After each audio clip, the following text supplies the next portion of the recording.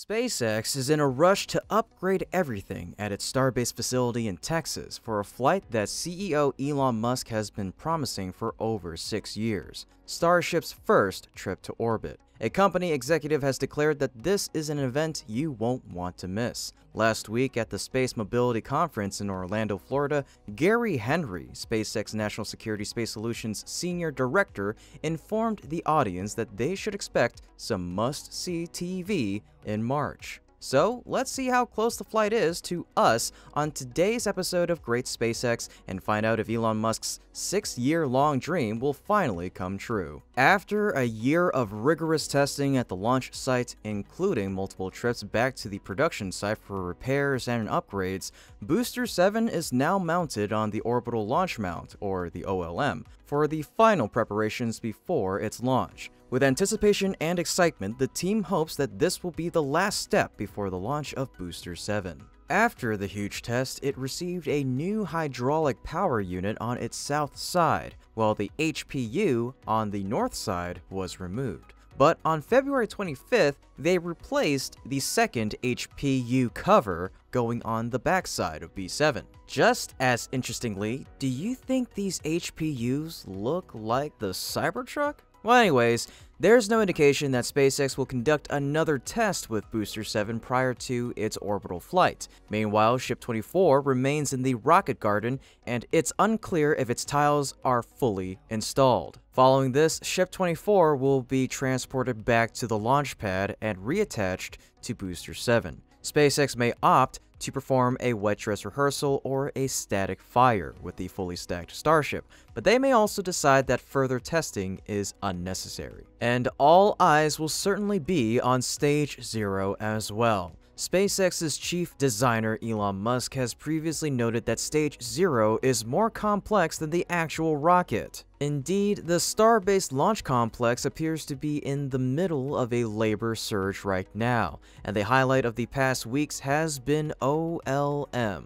Installation of new shielding on the orbital launch mount began in the middle of last month. The outer shielding of the orbital launch mount is nearing completion now, and is resting besides the shield near BQD. Those final panels are expected to go on the OLM these next few days, and that task will likely need to be completed before the launch attempt. We are awaiting one more OLIT cladding to go up as well. In the meantime, SpaceX is already installing a water deluge system that will eventually make its South Texas Starship launch site much more capable of withstanding the stress of Starship tests and launches. This week, we observed the panel with various gauges and valves, which is likely a deluge system control panel. Installing the system and constructing a large enough water supply would take months, thus precluding a March launch attempt. This implies that SpaceX's first orbital Starship launch attempt will occur without the deluge system. The most critical component of that flight is the Starship engine, Raptor 2. SpaceX is continually refining and improving this engine day by day, pushing the boundaries of what is possible in space exploration. Recently, SpaceX fitted larger tanks to support longer Raptor engine firings, culminating in a record-breaking 194-second firing on the tripod test stand.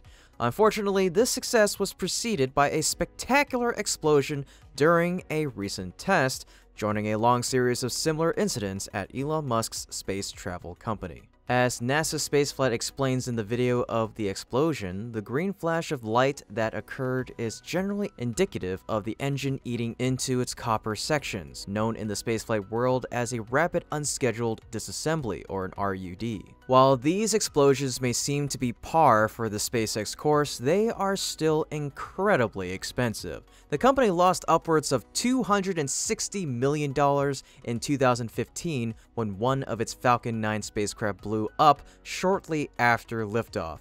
A 2016 Falcon 9 explosion annoyed Musk so much that the company investigated whether sabotage might have been to blame.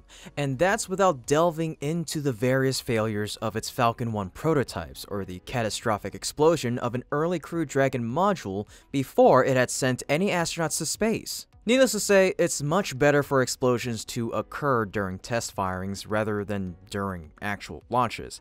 And even when they do explode at inopportune times, Musk often insists that the data the company collects from the mishap is worth it to upgrade to a better job next time. All in all, the strongest sign that Starship's first orbital launch attempt is imminent will be Ship 24's return to the pad and reinstallation atop Booster 7, as well as SpaceX's receipt of an FAA launch license. With testing mostly behind SpaceX, that license to launch may now be the biggest source of uncertainty for Starship's orbital class debut.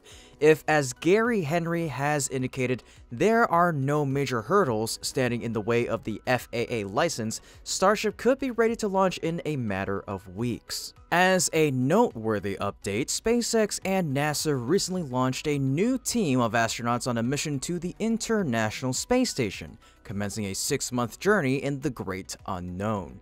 This momentous event marks a significant milestone in the history of space exploration as the astronauts embark on a remarkable journey of discovery and exploration. Wow, what a beautiful launch, Kathy Lueders, NASA's human spaceflight chief, said in a news conference on Thursday morning, about two hours after liftoff. We've been really enjoying the night sky with the Venus-Jupiter conjunction, she added, and and somebody mentioned to me that we added a bright new star to that night sky tonight. That's not to suggest that the launch was flawless, however. For example, Crew 6's Dragon capsule, a vehicle named Endeavour, experienced a minor issue shortly after separating from the Falcon 9's upper stage. A sensor associated with one of the six hooks that open Endeavour's protective nose cone after it reaches space returned an anomalous reading causing the capsule to switch over to a backup system. The backup worked as designed, and the nose cone opened on schedule. Those six nose cone hooks are also part of a 12-hook system that Endeavour will use to dock with the ISS,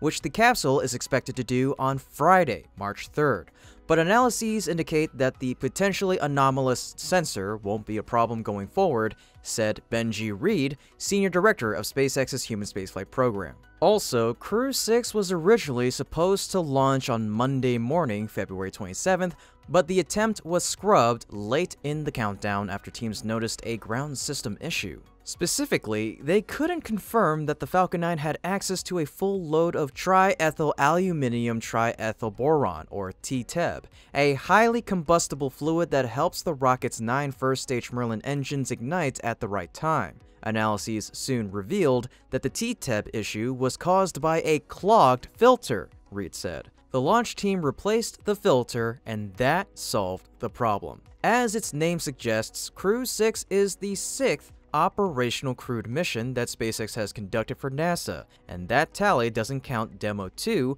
a test flight that launched agency astronauts Bob Behnken and Doug Hurley toward the ISS on May 30th of 2020. Lueders remarked on the one-year anniversary of Demo 1, noting that it has prompted some introspection. In the past three years, SpaceX has achieved an impressive seven crewed missions, she said. In fact, SpaceX's total number of crewed missions is even higher, having launched launched having launched two private astronaut flights to Earth orbit, the free-flying Inspiration 4 in September 2021 and the AX-1 mission to the International Space Station in April of 2022.